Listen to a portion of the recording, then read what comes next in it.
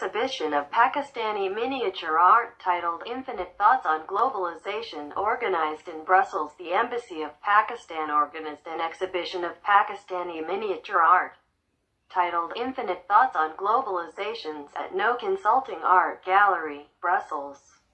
The event showcased the miniature art collection of eminent Pakistani visual artist Mr. Shahzad Hassan Ghazi.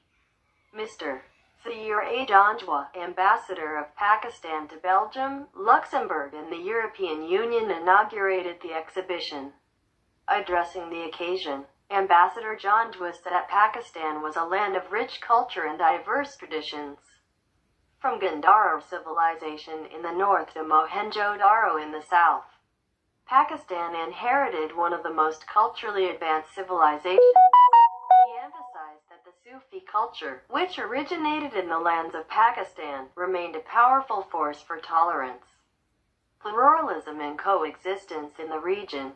The ambassador underscored that Pakistan had produced a number of iconic and world-famous artists, namely Sadiquain, Abdur Rehman Chughtai, Ismail Gul Jee and Ghulam Rasool.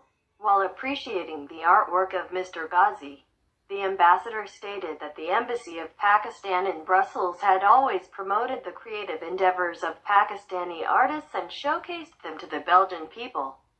He emphasized that more such events would be arranged in future. Participating in the event through video conference, Mr. Ghazi expressed gratitude to the ambassador for patronizing the event.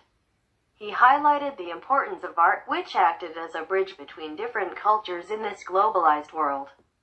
He hoped that his artwork would remind visitors that Pakistan is a land of creative and enlightened people who loved art and culture. The event was attended by a large number of art enthusiasts, civil society members, members of the diplomatic corps, and media representatives.